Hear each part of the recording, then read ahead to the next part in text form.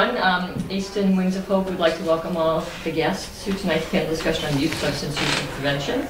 Um, recognized as, uh, Easton Wings of Hope is recognized as the Youth Substance Use Prevention Coalition of the town of Easton. And um, Easton Wings of Hope envisions a healthy Easton where healthy choices are recognized, valued, and accessible to all. Our mission is to prevent youth substance use through education awareness and policy change. Tonight, Easton Wings of Hope aims to make parents, guardians, and grandparents aware of the root causes and signs of youth substance use disorder and how to prevent it from ever happening to their children. By increasing the community's knowledge on youth substance use disorder and methods of prevention, we can take one more step in ensuring that Easton's youth will remain healthy for years to come.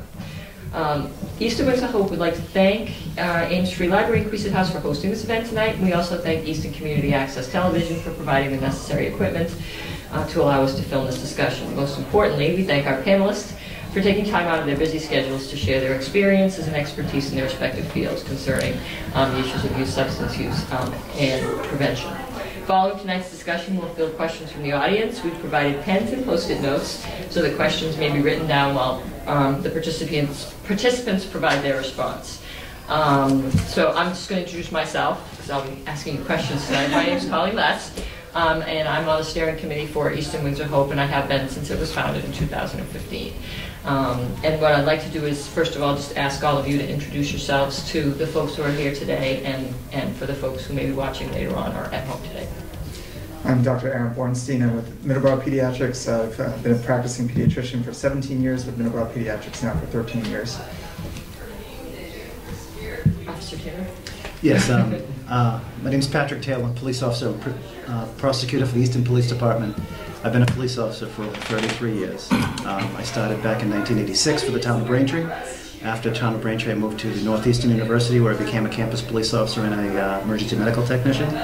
Further to uh, the MBTA where I worked in Roxbury, Dorchester, Mattapan, and 6 at night till 2 in the morning, impact shift. Uh, saw a lot of interesting uh, serious crime there. And 25 years ago, I lateral transferred to the town of Easton, where I started the town's first K-9 unit. And uh, here I sit before you tonight, uh, 25 years later, as uh, a few years away from retirement, uh, as the police prosecutor and the firearms licensing officer for the town. Thank you. Hi, I'm Evan Malone. Um, I'm a captain with the Easton Fire Department. Um, and more specifically, I am the EMS coordinator, the Emergency uh, Medical Services coordinator, which means I'm responsible for ensuring that the ambulance service um, for the town runs uh, as efficiently as it can. Um, I've been a paramedic for 24 years, um, and uh, the the uh, other roles I have is uh, being a shift officer, meaning I actually run. I work. Uh, I don't work days. I work on a shift, um, running a group of firefighters.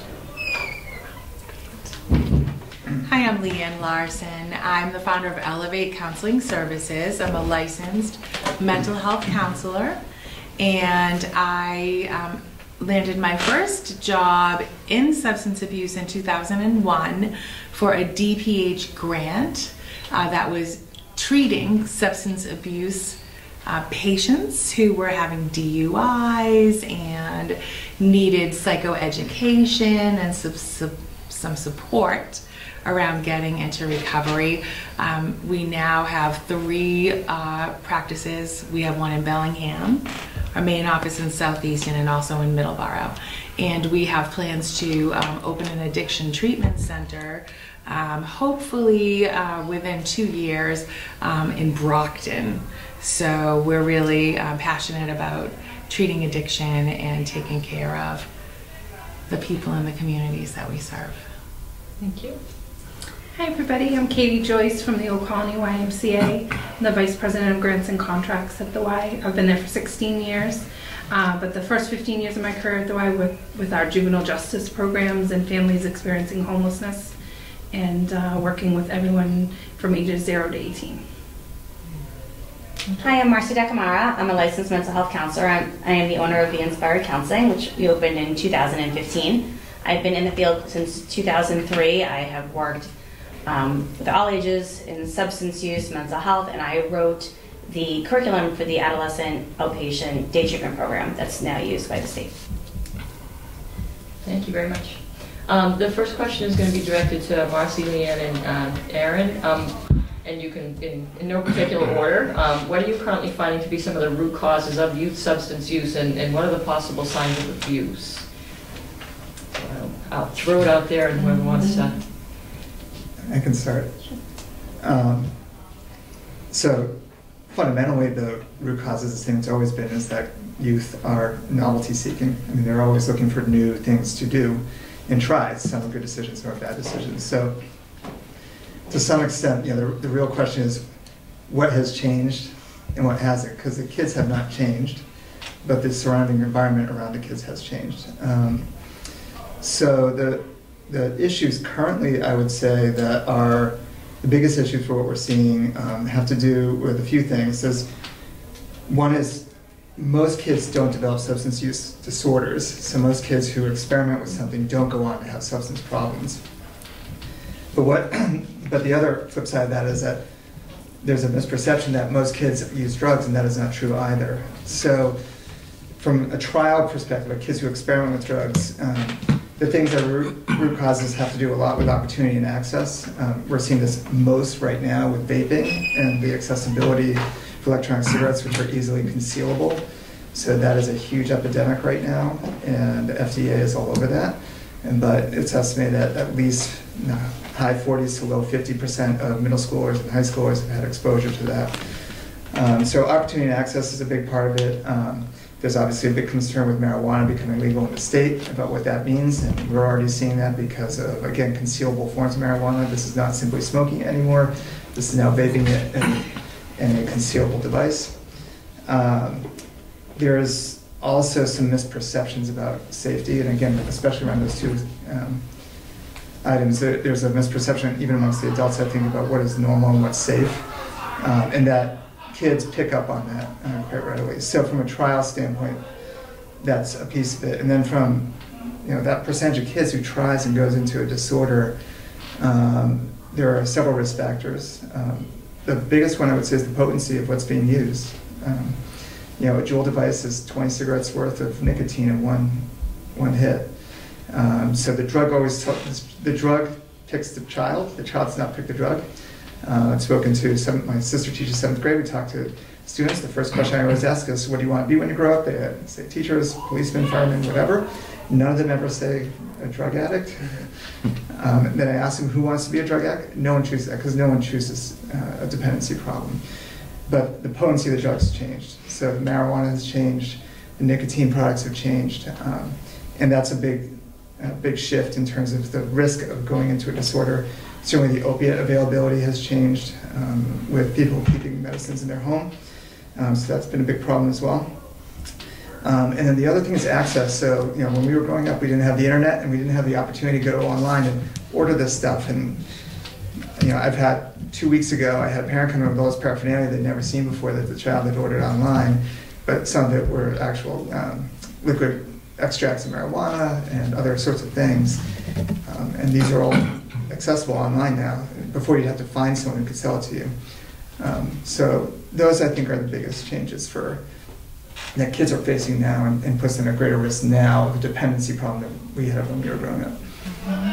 Yeah, Marcia, you want to speak to the root causes of Mm-hmm. substance use? Well, I would like to say that, you know, the the longer we can put off that experimental, right? The, the more we can hold off um, from our young people experimenting with vaping or marijuana or drinking a beer or whatnot, the better chance that that child has of not getting into an addiction right? So I think that's important. So the hope here is in prevention, making sure that we're keeping our kids safe, occupied. Um, I like to say uh, living in their strengths, right? So if they're into music, make sure that they're learning an instrument. If they enjoy gaming, get them involved in a club, right? You want to make sure they're engaged in finding those experiences, those new experiences in life that really are fulfilling and keep them busy and keep their minds growing and challenged and creating new synapses that make that their lives feel exciting and interesting and vibrant, encouraging healthy relationships. Um, an article I read that was a game changer as a mom. My kids all successfully made it into their 20s, so I'm thrilled. Um, was I got to pick my kids' friends, right? Until they are 14 years old, we get to pick their friends.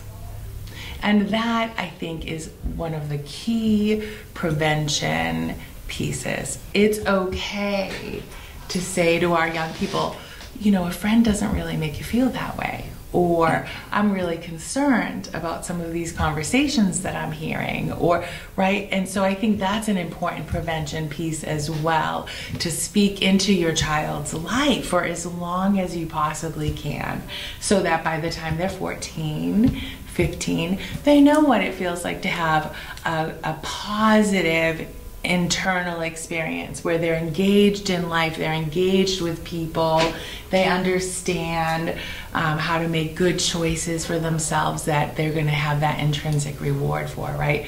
I think that's very important. So the longer we can put off those parties, the longer, you know, ultimately they're going to go to college, they're going to try some stuff, right? Maybe sooner, but hopefully not. Um, so I think that's a really important aspect of the prevention piece. One last thing I'll say one word anxiety. Anxiety.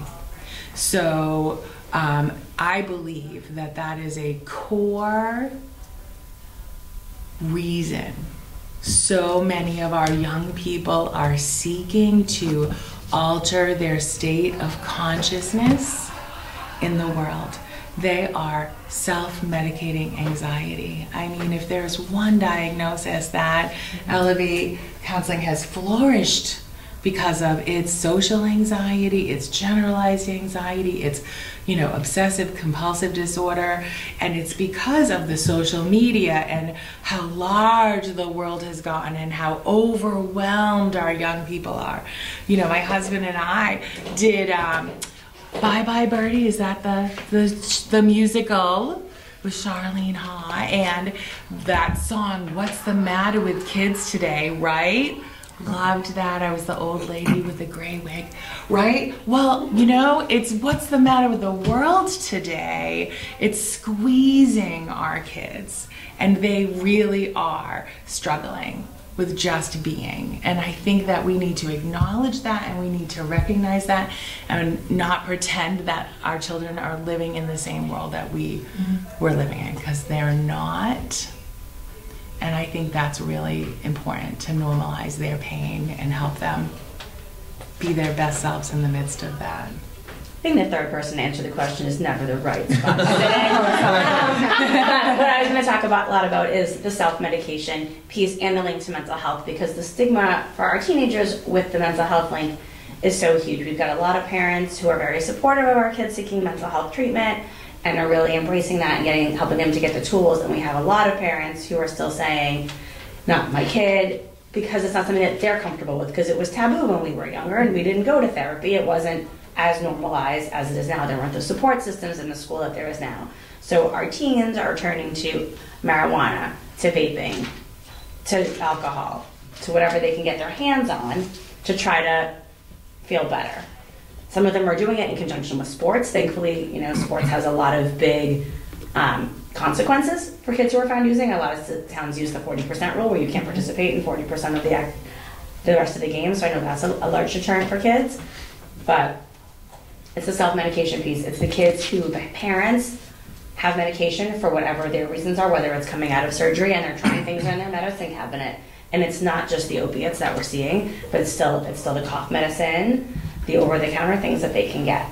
So the accessibility around that, combined with trying to reduce the stigma and how they're feeling, is what I'm seeing for a lot of kids. In addition to absolutely tons of anxiety um, or the depressive piece, but it's more coming out of just wanting to feel better and not wanting to feel awkward in school. So that's what I'm seeing a lot of. I'm going to add one more thing, and going on to you, there, there's a neurobiological thing that point that needs to be made, which is what you're saying, is that the younger the brain is that exposed to this, the greater the risk. You know, cigarette companies knew this long ago that if you give a 11 or 12 year old one or two cigarettes, they have an extremely high chance of being a lifelong smoker. So part of the challenge also is getting parents to understand you have to have the discussion early So like some of the earliest substances that are used are inhalants, you know, everything cleaners and products around your house. So, you know, we try to have that talk starting at ages eight to 10 about what kids get access to and what they try, sometimes out of just innocent experimentation. Um, and parents are often mortified to think that you have to have that conversation early. But the seeds are, are sown early on. Um, you develop resiliency skills early on. To try to suddenly implant all those skills and implant all that knowledge at age 14 is not that effective. Um, so, you know, it is really critical that the curriculum in the schools and the conversations in our office and the conversations at home around risk-taking behaviors start much earlier than what most people think they have to. And if I could add on to that, it's important that they're coming from the parents because they're hearing it from their peers at school. And the education from their peers is not necessarily what we as parents would want our children to hear because they're hearing it on the bus, they're hearing it from their friends' older siblings, and it's getting very misconstrued often at times. When, when I drove down the highway today, I saw the big sign saying marijuana is legal, learn about it. It's just, right it's a little message. mortifying. Yeah, my, Yeah. my kids are 14, 11, and they're in the back of the car and they just see this, but there's nothing there that speaks to risk mm. or what it's for.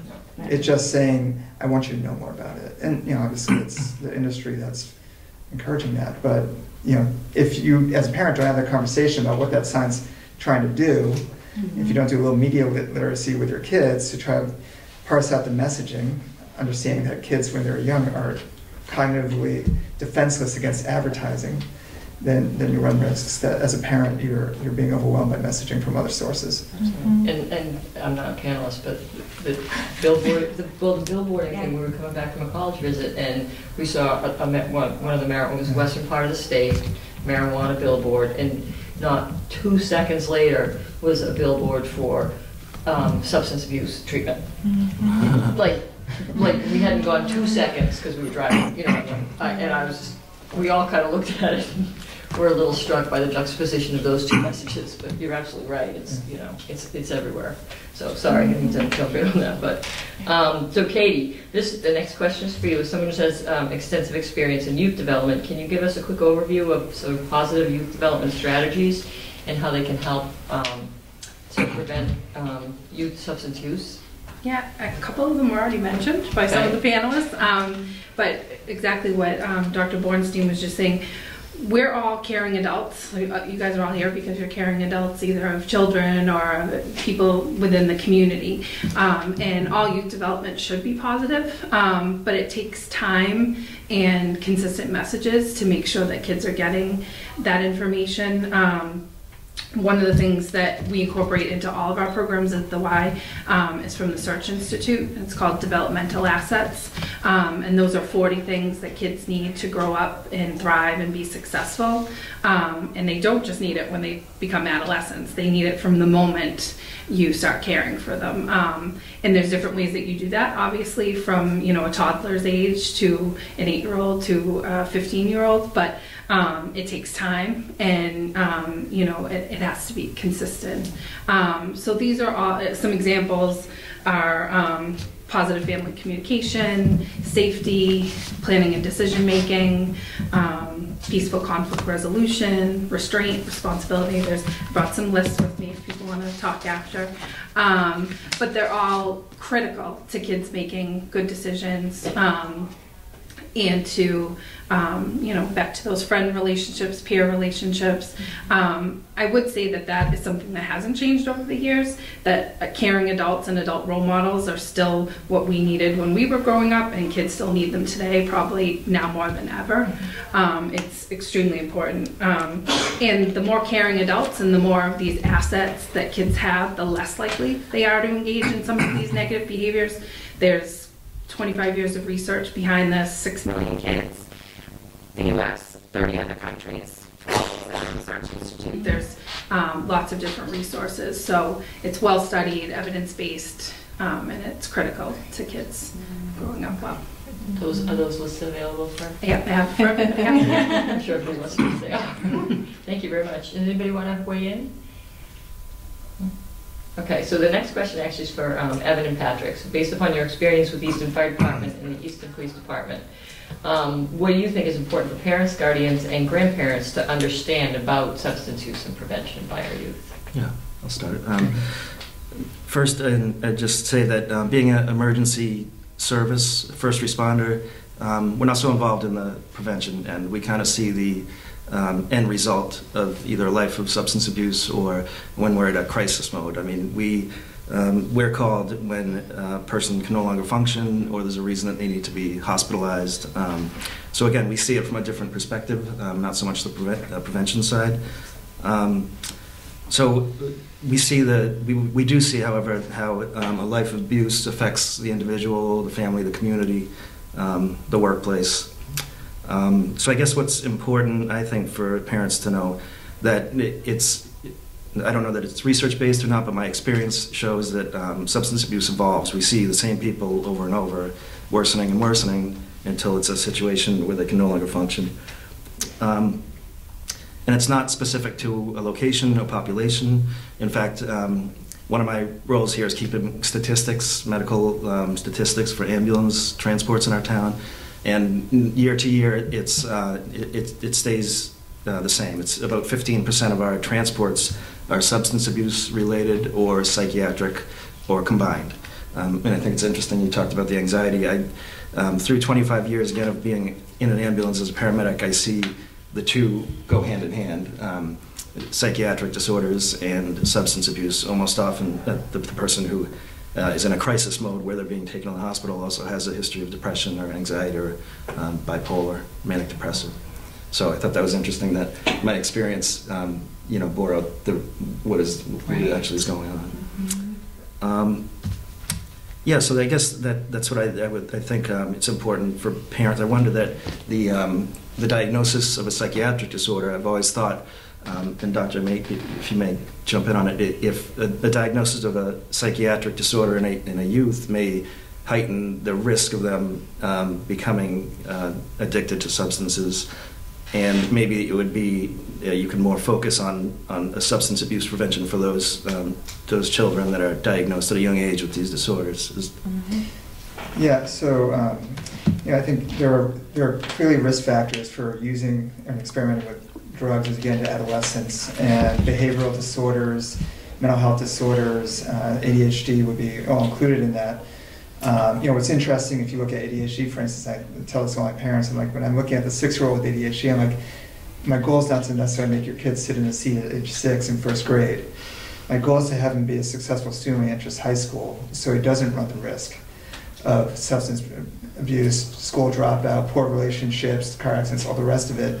Because there's excellent data when a child with ADHD, for instance, is well treated, that their risk is no greater than the general population for substance problems. Um, so early interventions key with all this. Uh, what's hard to undo is poor self-esteem, poor decision making, poor peer groups.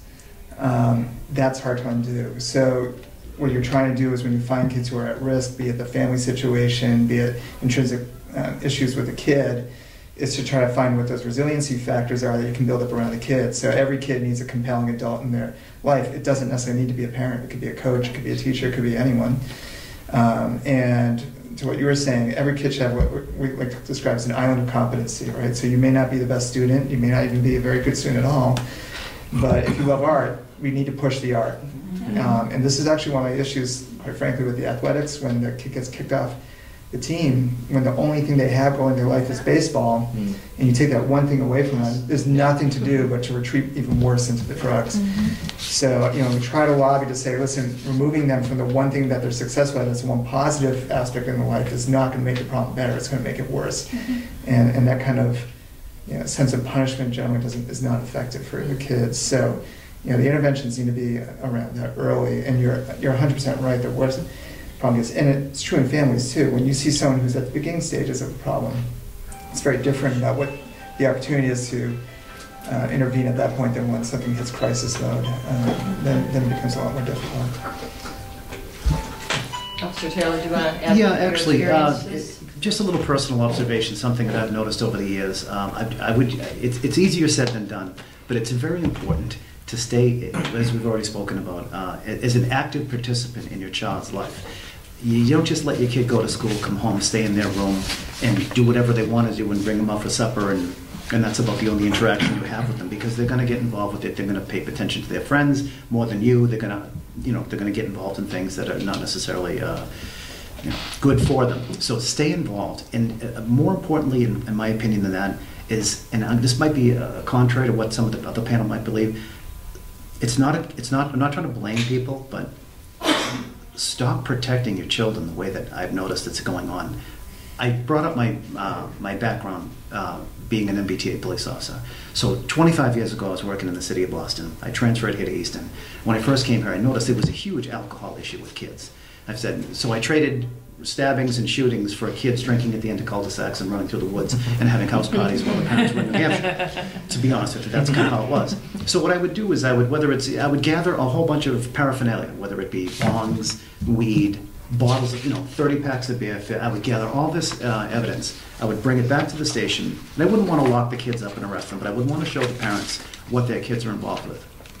And I would bring them into the station. I'd have the whole table set up, and I'd bring the parents in and they were mortified and they would uh, take corrective action with their kid. Sometimes their kid would leave uh, with their tipsy toes because the father's got him by the scruff of the neck. That was, that's how it used to be.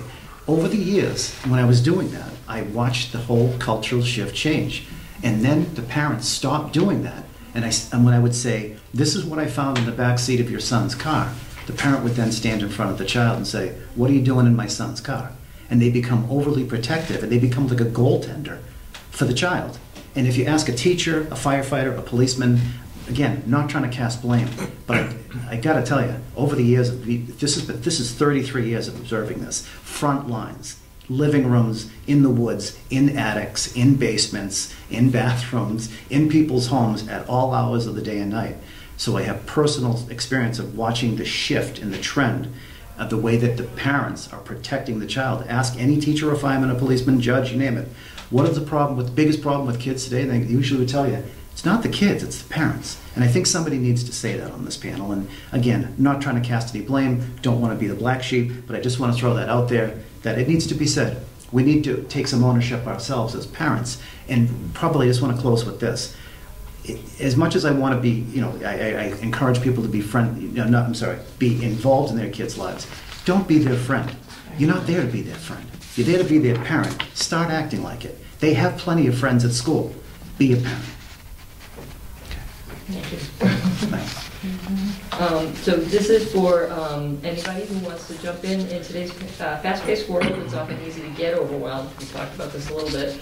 Um, What are some of the ways in which uh, youth can ensure that they uh, make time for self-care? And what are some stress relieving activities that they can practice? Um, Either organized or not, you know, Mhm. whatever, Right. whatever suggestions you have. I think, oh, Go ahead. sorry. Well, I was going to say, I think that, you know, parents are the primary teachers, right, of our kids. So they're going to be watching, you know. Um, I know that when my kids were young, depending on what phase of self care I was in, if I got a little irritated with them, Mom, I think you should go meditate. Mom, you want to go to the gym? Mom, right? Like, you need to chill out. And they could tell, like, when you take care of yourself and you do things for yourself, then you feel better, you're in a better mood, right? So, just as an example, to say that, you know, they're following our lead. So, what are they seeing? Around them? What are they seeing in the home? What are they, you know, they're going to do the monkey see, monkey do thing sort of thing, right? Um, and I think that's really important to set that tone um, and be the leader uh, in the home for the children, set up scenarios so that they are going out for hikes, you know, on the weekends. You know, give them a love of camping or kayaking or whatever it is um, that's going to engage them and help them relax and de stress. And then, whatever it is their strength is art, music, sports giving them opportunities to explore those things that just naturally come to them that can build self esteem, build self worth. Um, you know, if, if they want to knit or crochet, all right, let's figure out how to do that. Let's put on a YouTube video and learn how to crochet, right? Like whatever it is, it doesn't really matter as long as they're feeling engaged, heard, and have opportunities to really um, explore.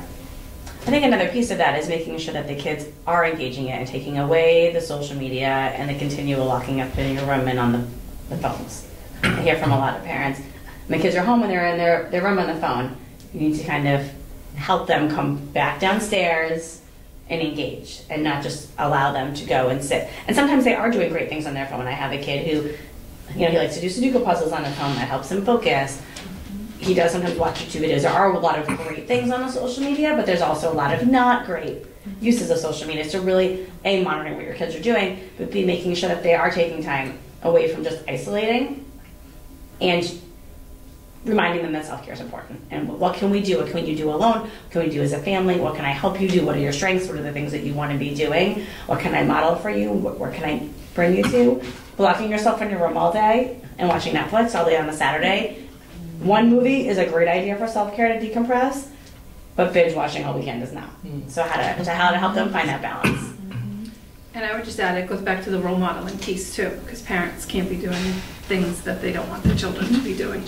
So if you're using your phone, if you're binge Yep. watching, if you're, whatever the, you know, they learn from watching you. That's a very old notion, and they, you know, they need to see the role modeling happening as well. Yeah.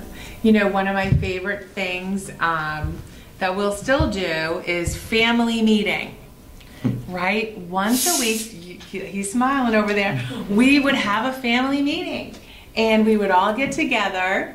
Um, we had a little question can, an old oatmeal can, and the kids decorated, and we had like index cards with a pen. Put down your comments, your questions, your concerns. Some we screened out and didn't bring, right? but we they would talk. We would like engage if we were having issues or whatever. We'd plan family vacations during that time. We would dole out chores, whatever. We'd work out any relationship conflicts, and we would end it on a good note. A movie, a game night, you know, going for a walk, whatever. And it's a really bonding, connecting type experience. And those are the types of things as a family unit, if you can engage and they feel heard and and all that, it really goes a long way. Nowadays, if it's a family meeting, it's like, who died? Nope, you gotta come, we'll talk about it when you get here, right? So it's still a tradition that works really well too. And, and you know, traditions is another thing, right? Like when you have the traditions in within your family unit and their friends engaging with them. It that it sounds basic, right? It sounds simple, but it's so real and it's so true. We need connection as human beings, and our young people need connection too. And if we're providing them opportunities with good connection, then that's going to help them. I'm going to echo a little bit of what you said, actually, um, in terms of parenting. Um, you know, I, I think one of the challenges parents have right now is that this misperception of risk, and especially the misperception that risk is, is bad inherently. That is not true. Um, so we have a lot of anxious parents. Um, I think more than probably was traditionally the case. Um, and so they just don't, the parents don't let the child take appropriate risk, right? So you go to the you go to the elementary school playgrounds, the first thing the kid wants to do is like climb on top of the swing set, right? Because they're trying to challenge themselves to see what they're capable of doing. Um, and when we take all the risk out of something, then what you've taught a kid is that they don't know how to bounce back in the setting of failure, and you cannot avoid failure in life. And then what happens is when you get to what you're dealing with, is a parent recognizing that child has no way of knowing how to take accountability for an action, how to manage emotionally a setback, um, how to move past something and take something away from that. Exactly. And and that's that's the issue you're, you're getting at, and that starts early. Um, so there is something to be said for for when your kids are young, you know, let them let them do some stuff and not you know nothing dangerous. And you're not going to let them play with your Ginsu knives, but but you know. We just run out in the neighborhood, go to our neighbors, and Right. on our own, ride the bike down the neighborhood. You have to, you know, parents have to kind of control their own anxiety about that and let the kids develop. Mm-hmm. Your goal, as I tell my parents, if you're a successful parent, your kids will leave you when mm-hmm. they're older. They will leave your house. That is your goal. You are trying to develop them into someone who wants to go away in the other room. So you have to give them baby steps to get there. And the, the other piece I want to get to, the fear of failure piece, um, is the construct that the society has kids in. Um, we've we've too subspecialized everything um, for kids. Everything's made this pre-professional manner. So my son, who's inherently very athletic, has never played team sports, and is now going to be going to middle school. When we asked him if you want to play team sports, he's like, I can't. Like all the kids have been playing for six years. Yeah, I'll look bad. Yeah. Um, you know, when I was in high school, I joined the tennis team because my friend did. I didn't, not because I played tennis. So um, there's some issues with too much structure by the adults, not letting them, the kids, organize the activity, negotiate the activity with their peers, figure out how to settle the dispute within the activity, and enjoy the activity for what it is, and select the activity. You know, how often do we see parents who are who are driving the kid because they're you know hoping for a college scholarship, or because they see the kid's talents and forget that most kids will burn out on whatever it is, whether it's their instrument or their sport in three or four years, and they'll want to try something new, and then blocking that kid's opportunity to try something new because oh, you've invested four years into this into it. Don't give up on it now. Mm-hmm. So being responsive to the kid and letting the kid guide their interests is important, and supporting that is even more important. Not letting them feel like they're a failure because they gave up the clarinet after four years, but say, I think that's great that you want to go try this uh, new thing. Sure. What you don't want to do is then giving up clarinet for 10 hours of Netflix every night, right? You- say, you're fine to give up clarinet, but you need to try something different. Replace it with something else. So, um, you know, that, that's a, a parenting issue, that's a challenge for a lot of people right now. And of course, you know, structurally, you know, when I was growing up, uh, thirty percent of households in the seventies had two parents working. That was flipped by the nineties, you know, only thirty percent of households had, uh, Mm. had, um, I'm sorry, seventy percent of households had both parents working. Um, so, you know, parents are under a lot more pressure now, um, and stress financially and trying to make everything happen and they have to shuttle kids to all these places. So, you know, we have to be empathic towards the parents. I mean, it's, it's tough, it's not easy. Um, I'll add, I'm, uh, I'm the parent of a 16 year old, 17 in a, a week or two, um, and I find that there's nothing stronger than um, positive um, peer support, positive peer pressure. Um, I think surrounding yourself, these, these kids surrounding themselves with um, other, other kids who share their interests, uh, positive interests. Um, and for an example, I'll give my son's um, a wrestler for the high school team. Now, I don't know if you know these wrestlers, they're, they're obsessed with diet, health, weights.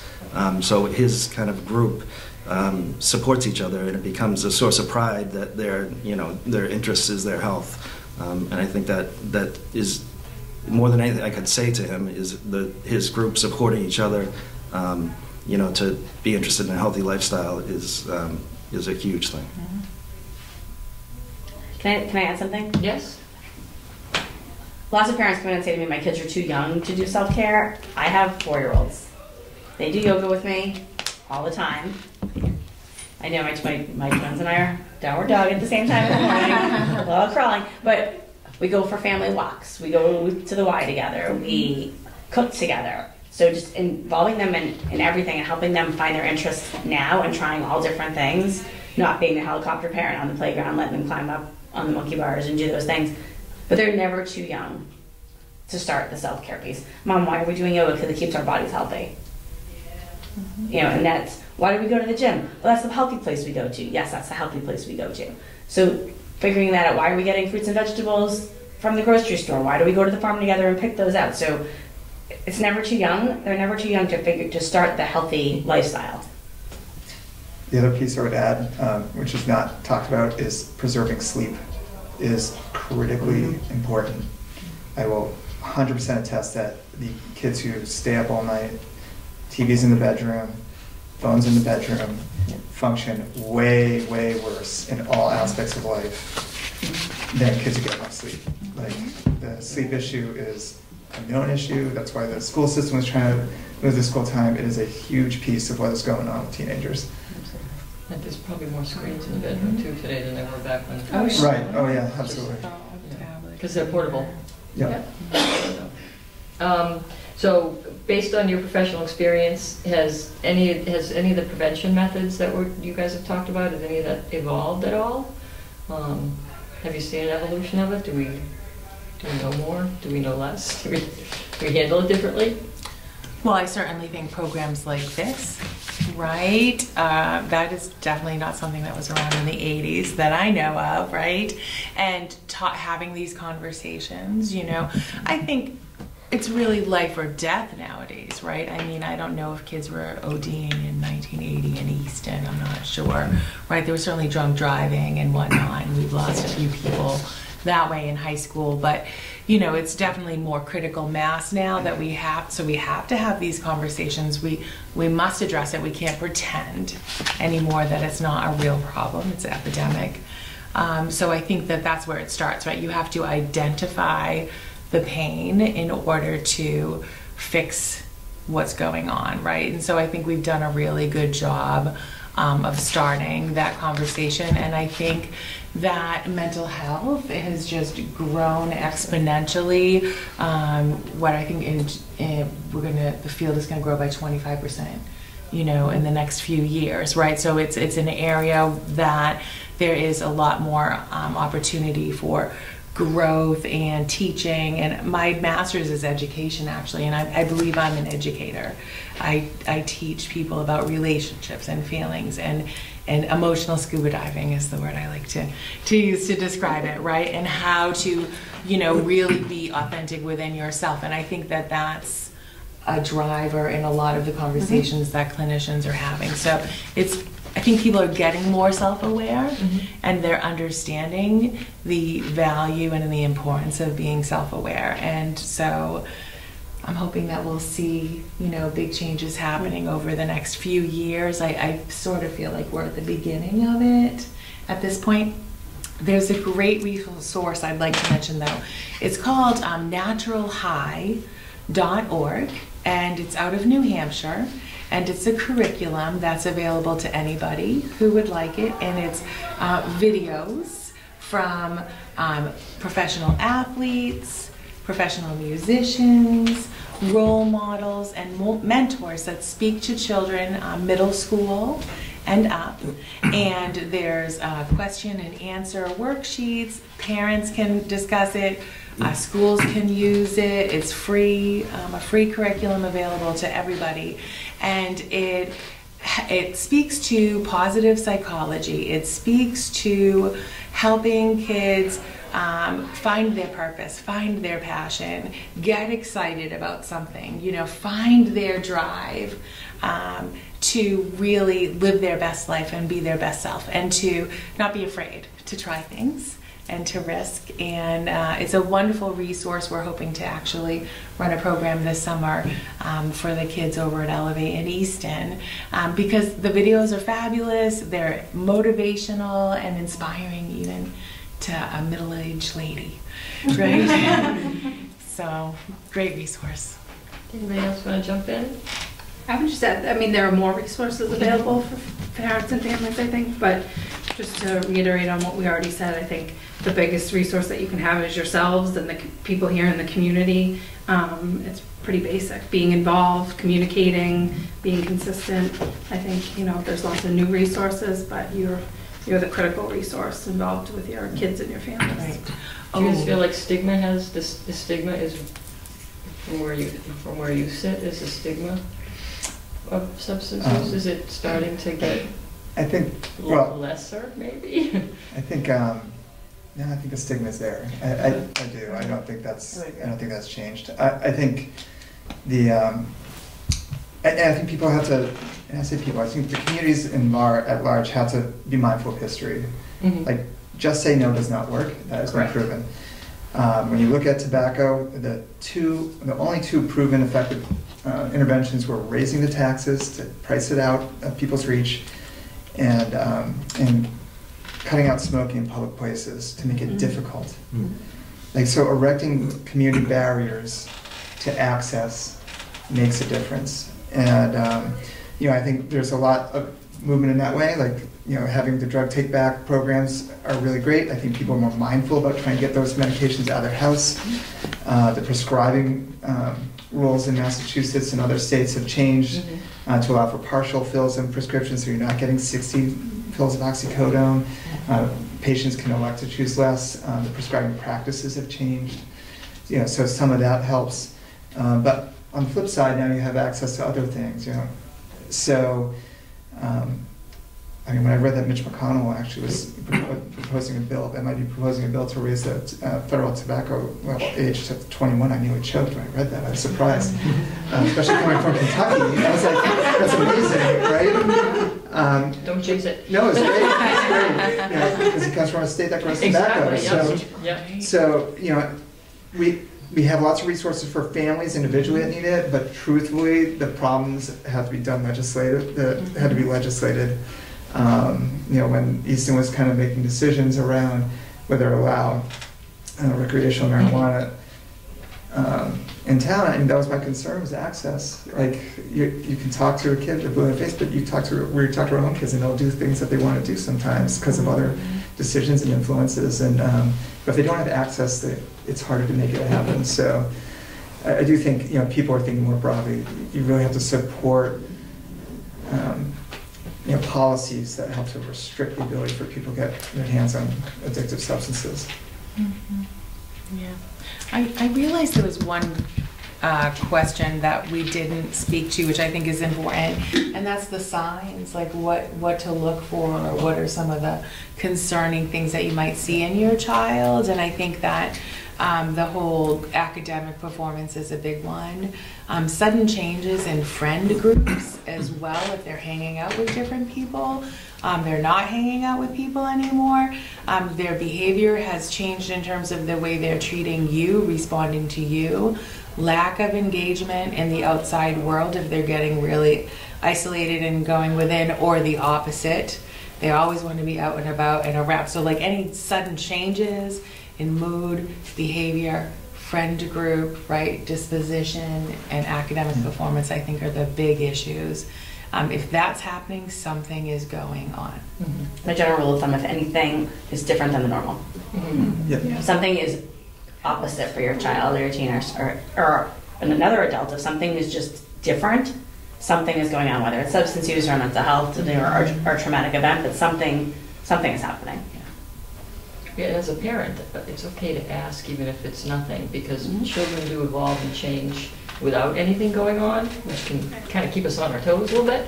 So, but it's, it's okay to ask those questions. You should ask those That's just as questions, a parent. for sure. So, Yeah, um, Absolutely. even, it might be nothing, but, you know, keep those lines of communication open just in case. So, does anybody have anything to add before I open it up to questions from? question. This is, well, this is parents can ensure, I, yeah, I think that, it's Yeah, been- they can. yeah, yeah, the last question's pretty much been answered, I think. It's about, yeah, getting the message across, I think we talked a lot about getting the message across, so. Um, I wanted to open it up to, to questions, anybody might have questions from the audience, from any of the panelists? I do. Um, I was wondering, you would, uh, Katie, you would mention resources that are available. I, I find for me, it's like really difficult at times to find the right resources and what I'm looking for, to ask. You can have the most well-written pamphlet by marketing, um, but it's not the right fit, so I need to do my homework.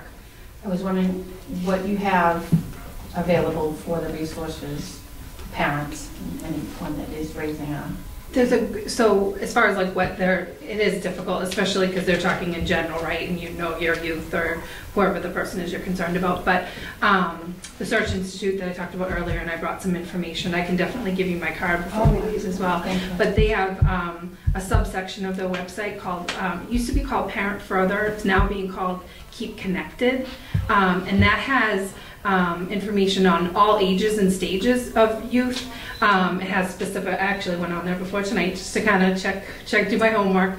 And um, it has a lot of new information on substance abuse, but it also has kind of general parenting information too. So that's the whole ages and stages piece. Um, one of the really cool things on there, getting back to some of the things we were talking, just talking to your kids, they had conversation starters, to, you know, game night, little activities you could do depending on how engaged you want to be with the conversation. Um, but lots of different strategies and, and you know, not hey, here's a pamphlet, talk to your kid. Here's a way you can talk to your kid. I'm gonna give I'm gonna give you the exact conversation, and you and you can decide. Do you want to ask all five questions, or do you just want to ask one question a week? So um, I can definitely provide you with that information before we leave. You're welcome. Another question. great way to talk to your kids, to kind of piggyback off of Katie, is driving in the car. Because if they're behind you, they don't actually have to look at you. And a lot can be said for conversations while you're driving in the car. So just kind of finding the right opportunity and also letting them know that you want to talk to them because as parents, we have a plan that we're going to talk to our kid on Friday night at 4 o'clock about this topic. And we're catching them off guard.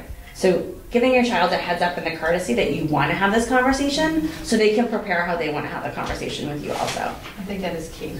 Yeah. You definitely can't plan with them. Yeah. And it shows them, it shows them you care, and it shows them you're thinking about it. So they might not be ready, you might not necessarily, no one's ready, right? Um, but, you know, you, whether you start it then or you start it later, it's important that they know. And, and that they have an equal voice then. Oh, mom gave me the courtesy to know that we're going to have this conversation. I'm not going to like it, but I have an equal voice in this conversation, so I can have time to think about what I want to say because she's already got her speech prepared. Anybody else have questions? So I have a question. Yep. Um, So we were late on being diagnosed with um, anxiety, so we fictitiously had the first five years of school, um, typically, and then we had um, atypical episodes, so for six, seven, and eight. And so now we're having, so during the first five years of school, we were involved in drama, we were involved in different activities, um, loved and excelled in music and drama. And now, um, so now we're 14, we're in eighth grade, and um, re-entry is really, really hard. So when you all were mentioning, um, the topic is how to prevent substance abuse in young folks, and you need to have them fully engaged but I'm struggling to have my teen fully engaged because he was and then he wasn't, and now he's back in society and there's no activity to engage him. So he is experimenting for the first time, unfortunately, and doing different things. So, so my question is, any examples of how to get him re engaged. Re-engage in what he was doing before, or re-engage just in a new activity and how to kind of get, develop that new strength like Leanne was talking Well- about, or, sorry, I just need a little bit more. Sure. We engage in society. We were at a therapeutic school, so we kind of just lived in that world. And so we Gotcha. got up, with to school for the whole day, and then we came back home in the evenings. But our evenings were in our rooms. They weren't Yep. out in society. Yep. Um, and so now we're back at the public schools. Yep. And so it's, um, we don't have an activity. Less structure, there's not everything that's planned for you. Right, well, the, this, the high school, uh, the middle school is structured, um, but it's just getting him like, uh, uh, Social structure. yeah, Yeah. a good, a healthy one. Yeah, yeah, I'm with her. Yeah, no, the, and this is Gardner. Reintegrating a child into a school when they've been absent for a long time is extraordinarily stressful for any kid, Yeah. Whether they're, for any reason. Yeah. Uh, and, and people don't think about that, you know, a kid who's had a behavioral problem in school gets suspended for a week. You're, you're basically setting themselves up for a bad behavior when they get back because of the, all that week, there are all the things are, how am I gonna face the other, my kids? What if they ask me this, how am I gonna deal with that, right? And, and they've already chosen non-effective modes of behavior to deal with that. but that's their, that's their default. So it, it's not easy. I, I think from the school standpoint, you gotta work with the guy, you know, the adjustment counselors and the, and the school personnel a little bit, uh, with it. Every kid's different, so their needs are different. But it also speaks, I think, to like programs like the Y and having programs outside of school. When, when your child's whole life is embodied within the school in the same social circle, school, the same kids for their sports teams, the same. It's it's really difficult for a kid when they feel different, whether it's for something like that, whether it's because their sexuality they feel is different, anything. I'm a huge advocate for summer camps. I know. Huge because you need to kids need to find their own space and when we live in a town and this is the school this is not by their choosing this is the space we chose for them Right. and so um, looking outside of your community to find a space Right. for a kid like that is enormous i think Looking Um, back, like, Yeah. so I'm the middle, um, a nurse at the middle school and I've been with Wings of Hope since Right. 2015. And um, I've actually uh, been in Easton since, I have both of your kids, um, since 2008. And, you know, like, looking back at this type of situation, I do see that kids do better when they go to an outside camp or like a music camp that isn't with the peers that they had in fourth and fifth and sixth grade. And, it's not convenient, because, you know, I, I was trying to think of my brain about like what programs are out there, and sometimes where we live, I find if you're not a sports kid or like a jazz band kid, it's really hard, you know, um, and sometimes like you have to look outside, so I was really interested in, in hearing about like getting your kind of looking into some of your programs. And um, at the same time, I was also like, oh, with budget cuts and stuff coming up, I'm like, oh gosh, you know, like all these things, because you like to have a varied amount of clubs, so you have different things. But you also want to have varied experiences so kids can do stuff. And sometimes it's hard if you're with all the kids that you don't maybe like at your school or in, in that case. So um, I do have had some parents who've done like the summer camps, which I was, I've never done a summer camp, but the, the, the kids end up thriving. Um, like that PCC camp Yeah. is really good because it's, they're at Stonehill, but it's kids from all over and not necessarily all Easton, so they can kind of go there. They're down the street from us and, um, but they get a new, a new, a fresh, a real fresh start. Mm-hmm. yeah no You i think i think there's value in that It does, and you have to look out, you have to look outside the, bo- it's- you have to look outside the box a bit, but you have to do it where you're, like, obviously, I could never commute anywhere long, but it's, it's different. I can look at a couple of things, I'm really Yeah. interested to hear about your program. And I'd be happy to speak with you after too, to talk a little bit just about your personal experience and what the Y could, either you could And offer. it's safe for Lots the of kids- different programs. I'm sorry. It's safe for the kids to practice in a group that they don't see every day. Yeah. Right. So if your child like theater, Right. there's tons of theater programs around that aren't in Easton that are, Right. are nearby that they can Yep. practice with, um, like short-term one-week camps. So it's not committing to an entire summer, but the very short thing. But the Y has a ton of, of great structured programs, and they're they are really good about catering to everybody's individual needs. And I'm not sure how old your child is, but that, 14. yeah, so that's still an appropriate age for camp, which camp is a good example because there's a lot Camps of, are usually pretty good before, like, you know, like, you know, four, you know, 14, 15, 16, you kind of start, uh, they're gonna wanna do their own things, but I find like 14, our camps, we, we, we cater up to still. 15. Yeah. We actually have leadership programs, for- Yeah, I which would be a potential really good match for um, the older youth. Um, but yeah, I mean, what I was going to say is they ex- they get to experience a lot of different activities within camp, so they can Mhm. develop that strength or that spark that they you know they do a half hour of archery and then they do mm-hmm. you know some swimming, so that if you know they don't have to be perfect at you know sports or whatever that exact activity is, they get a lot of mm-hmm. different exposure.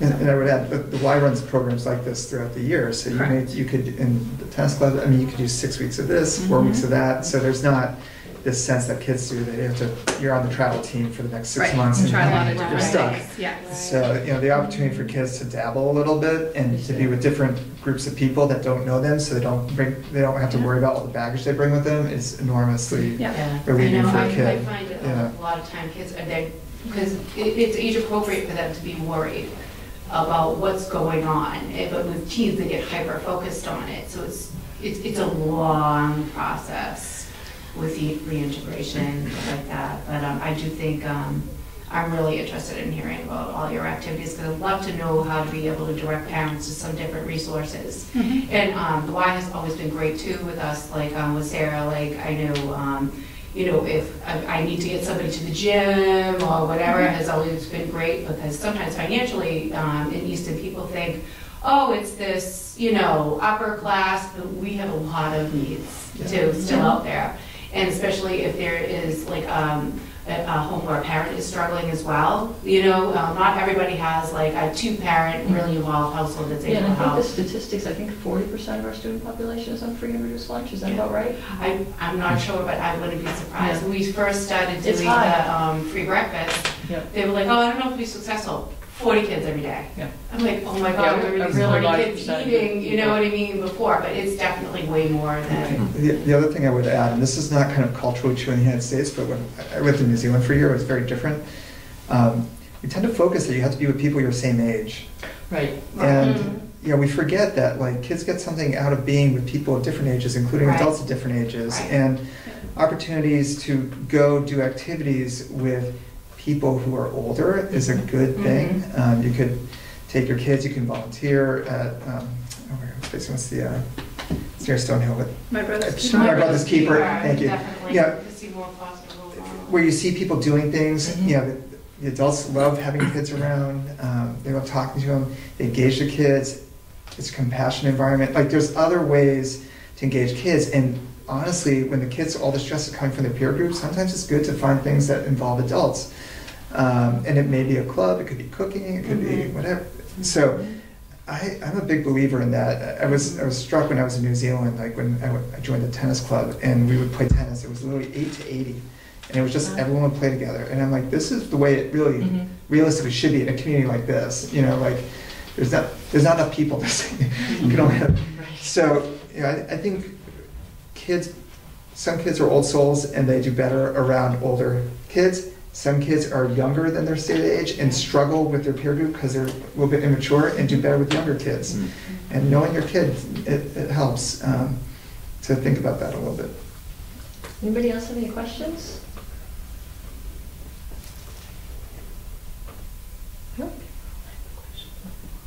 One thing I was wondering if you had any ideas is, um, uh, uh, how could, what are your suggestions for engaging the younger population? You know, not just at school, but how could we do more with like, you know, like getting like the, the parents of like, um, you know, school age, preschoolers, like starting with this early so that it's not all of a sudden when we're in, you know, middle and high school having an issue. Do you have any ideas about how, um, you know, we could offer some more educational opportunities or? So I'm a parent of four-year-olds. Um, I do a lot of social stories. And my children get a lot of the the emotion books, but any kind of play or books that kids are coloring pages around that type of information is really good for the younger preschool age kid. Well, what about how to get the parents involved, like to say, hey, you know, um, we, this, this is gonna be an issue later on in life, but these are some skills you will need now for later on down the road. I think we just keep trying. I think there are some preschool parents who really get it and want to hit it off at the Right. head, especially if they have older kids, and some who are, I think, like any age parent, but not my kid. It's not going to happen to my mm-hmm. household, and I think that happens no matter what age. So I think we just we just give them the information like we do to all of our kids. This is more mm-hmm. information. Here are resources for you. Here's a kit. We're encouraging you to try them with your family. Mm-hmm. I think we just keep putting it out there and we keep trying. It's, I think we're going to have the same problem with preschool parents that we are going to have with the high school parents, mm-hmm. with the, the lack of engagement. Or, or positive engagement. I would also, I mean, the Y is happy to team up on anything with the schools that's interested in educating families and pr- whether it's providing space or trainers or, so I think, I do agree with Marcy, you gotta keep trying, but there's lots of different resources out there to provide parents. I think, you know, it's the messaging, it's, and it, I mm-hmm. mean, people are here tonight, you know, there, mm-hmm. it shouldn't, the number doesn't necessarily have to matter. It's the impact. People are gonna leave tonight, tell another person what they learned, share the story, share the resource, so it, you just gotta keep doing it. And I think it's not like on my parent, like on my my kid, like with younger kid, like I, you know, I- the, the question of like talking to my kids about this stuff that young mm-hmm. didn't seem like we needed to yet. Right. You know what I mean? So it's not as, sometimes it's a not my kid, we definitely have that in every mm-hmm. town, but, but it's also like, okay, these aren't conversations that, but it's how, I think it's how to frame the conversations Right. for the young, like you were saying, the, the social emotional, Yep. the books. And the stuff words, How we to wanna- frame it for the younger kids. We want to be healthy. We want to we want to live a long life. We want to have lots of energy. We want to be safe. We want to use our bodies and and good. Like, like we're saying, like you know, nice hands. Just kind of keeping with whatever their terminology is. Should be the same, way, I mean, it's National Substance Abuse Month. It should be the same way, I mean, sorry, Child Abuse Month. And we talk about child abuse differently than we used to years ago. So you have to think about it in that context too. You're not afraid, anybody, I don't know how many parents of young children, you're not afraid to say, no one should touch you there, no one, sh- you know, that's your body. So the same kind of stuff. It's just, so it's shifting the messaging to substance abuse similar Thanks. way. Thank you. I mean, I agree with, you know, taking the role on as a parent, and uh, I, I mean, I've always done that, but why can't it be taught in schools, like, to educate these kids? Because I'm telling you, like, when they do get older, it's almost like I'm the Lucy in the Peanuts teacher. My kids are like, but if, it's like, in the schools, and I'm not sure what age, I'm not a teacher, and, you know, I mean, you do these programs, and it's wonderful, but if it's in the schools, and, you know, you have breast cancer month, you have this and that, why aren't these kids being educated at a younger age? Why do we have to sign off as parents? Yeah, you should be taught this. I mean, marijuana billboards are everywhere, it's legal. My son read it the other day, oh, you know, he's 16, gonna be 17, he's very curious. These kids are curious, and if they knew what the vaping is doing to them, truly doing to them, because I know they're fearless, their brains aren't developed, and God forbid the male is, you know, we're gonna wait till my son's 26 Yeah. so I have a human again, I don't know.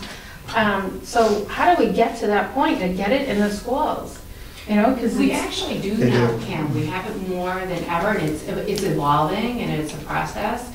And um, it actually, I'm really excited because the, um, the head of wealth, uh, wealth, health and wellness now, it's K to 12.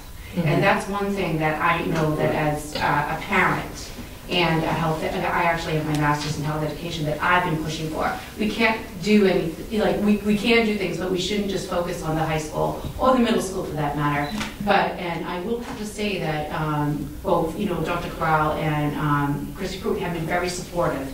And um, they actually had, Cor- so Corinne um, McCarthy, she's the head of um, the, so she's a department head, and she has all the health teachers and, um, and phys ed teachers, and they're slowly integrating all that into that role as well. So there are positive steps being made in that. K to five, we're working on that, and they have a new program called the Great Body Shop. And the pilot, and it's awesome because it's, it's not just, don't, you know, a drug substitute, it's healthy body, whole child approach. And, uh, and it starts at kindergarten. And, you know, but unfortunately, I do think that things happen, teachers have a lot to do. right. And, you know, we're, we're actually, you know, we're coming up on budget cuts. I'm not, I, you know, we finally got a health teacher. I really need that to stay. We fought for that health teacher in high school for a long time. Because, you know, they need, they need health. Okay, and I think some of the involvement of the phys ed teacher is gonna take on that role. But at that time, at the same time, you know, our kids, I think they have phys ed, well, maybe two times a week when they're little. And then it goes up to when they're, you know, um, every other day, when they're in high school and, at- I mean, in middle school. And now they're actually having to have health and wellness classes um, through 12th grade, which it used to just be ninth and 10th. So I do see things in there. And I- I'm speaking both as a parent and somebody on the front lines. Right, right. You know, and even a lot of this stuff as, that I've gone in, not as like, you know, like for. Right, right, right. You know, and Yeah. I do see it and I feel really positive about it, but it's just hard because like the, the issues keep growing and keep, Right. you know, like, And it's hard to keep up with the state requirements as well. They, they- Right. they're constantly changing and they're constantly evolving and the, the schools are constantly playing catch up to try and keep up with what it is the state now is requiring a teacher to do or to have the certification they need to have right. and all this other Like stuff even on top as of it. Parents, we're just catching up on the vaping. Exactly. School's gonna be Yeah. like four years Yeah. behind in catching up with that, so, you know, thank- thankfully, we have Lynn LeBlanc is also on, um, the uh, Wings of Hope Board, and she is very involved, we have wellness clubs now, but we are looking at, you know, getting to the younger ages and not just keeping it like high school and middle school. So just like one quick comment, I know today at the middle school, I'm not sure if it's the entire middle school, just the eighth graders, I know we had a discussion on um, alcohol, which was, which was really good. Um, So my son came home, he does have a disability, and he said, Mom, we had a conversation today in assembly on alcohol and the uses of it, check. Um, but I didn't understand because it was talking, you know, a lot of um, uh, uh, medical or, or, or how it affects was, the uh, brain. Dr. Sion Harris, we, did- it was, so this is a different one, it, but they went into the brain chemistry of it. And so it was, we went into what you Yeah. talked about with Idom, and and we actually had, she, we had her speak in September, Dr. Sion Harris. So this was about brain health, and it went into the synapses and how using substances can affect your brain. And, um, you know, it, it, it- when you go to, there is no one assembly that, uh, the kids are gonna hundred percent like, but what's gonna happen with this assembly is there is gonna be, there was pre-teaching done, and there's also gonna be follow-up done. And the kids are gonna be uh, filling out and asking questions, so he's gonna have the opportunity, if he didn't have, if he didn't, um, understand something, to ask them. And we're gonna also send something up to the parents with a link with Dr. Harris. And what is also great is that it's going to be a continuum. We're also going to use, we're, so we're doing a program that is also going to go into ninth grade. Because what Corinne and I discussed is that, you know, the summer between eighth and ninth grade is just, you're going from a middle school to a high school, and it's just, it's, you know, a change in environment, you know, the, mid- you know, the, the high school is set up for everybody in 12th grade, so the kids have to adjust, so we're trying to transition that, but there's also gonna be a parent piece too, Great. which a lot of times, you know, we just have speakers and that's it, it's done. So there's gonna be a follow-up piece. Um, I sat through it today and I loved it, and I didn't just love it because I understood what they were saying, but I'll tell you, you could, there was not a pin dropped through there. That was like the first thing. If we weren't having to run around and, you know, tell people to be quiet, that it was, but they did, they were, rec- that's great that he actually talked about it though. Because it resonated, because it was a lot about marijuana and um, vaping too. Because it was talked about how when you use things at a younger age, it's gonna increase the risk of um, um, addiction. And it also talked about the delay, delay, delay principle, where, you know, you you know, any substance use, you want to delay until you're older, you know, if at all, older, because your brain is still But Let me developing. cut off that first. Having, having done those talks to seventh graders, the goal is not to suddenly endow them with knowledge. Right, The goal is just to simply make them stop and think for a Think. moment. and right, question and ask questions and understand it's okay to ask questions. These are taboo subjects. Like they- these are not mm-hmm. questions they're generally going to feel comfortable talking to parents. And you know, when I've given these talks to kids, I, I've had questions come back. We usually had a, my sister would have them write down the questions. Everything from like, so you mean Dunkin' Donuts is making everyone addicted because Yeah. I know. so yeah, real live indignity over uh, Dunkin' Donuts, but you know, to to something more serious. So, so what is you know, you know, GHB? You know, like I've heard of this. What is this? You know, what does it do? So you're right. Every kid's at a different level, but what what is effective when you talk, I find, to kids straight. Like you're just giving them honest information. You're not giving them directives. You're not giving them judgment. straight You're just giving them information. That's when you see what their concerns are. That's when you see where they're operating on, like wh- where their brain is at. And that's when there's an opportunity to have that conversation for you, to have a conversation on your son's level, whereas some other parent will have a conversation on, on a different level with their kid. Um, and that's where I think a lot of the drug education misfired in the 80s. It was too prescriptive, it was Mhm. top down, and it wasn't I don't do- addressing where the kid was at and letting the kid have a piece in the conversation to address their own questions and concerns. So I think the problem that I wanted to Yeah. highlight um, has to do, um, piggybacking on um, Mr. Evans. There is a, there should be more of a connect um, in terms of education and awareness around uh, psychiatric um, uh, illnesses or or disorders and that of substance abuse. Mhm. So because of our disability, having this um, lecture today was great overall, but because of our disability, there still remains at the end of the day a disconnect. So in terms of educating and aware, and, and, and making parents and students more aware, I think it definitely needs to be done, um, definitely in assembly, so no one feels singled out. Mhm. But then definitely it needs to be broken down to the different types of groups um, that we serve, especially at the high school, Mhm. um, with, sorry, at the middle school, where we have students um, in the TLC center, students with varying disabilities, so it, it just has to be broken down to, to a smaller level. I was excited, but, but it, it just highlights like the point that there, there is a disconnect, and you see those that are on, that are disabled more apt to Yeah. try the substance, and how can we as parents or, or a group, um, try to prevent if we can, I think it's just in how we present the information. You have to remember too, I mean, it, it's all well and good to think that in every situation you have stable parents, stable home, parents who are concerned, parents who have the cognitive ability to understand. That's not true. Right. Um, so, it- you know, this is a multi-faceted problem problem. and, um, the schools cannot solve it for everyone. Um, you know, the goal ideally would be to find, you know, find people, kids who are at risk. So, you know, I'm a pediatrician, so our, our goal is preventive care. You know, you try to identify the kids who are at risk and try to give resources or give information to help mitigate that risk.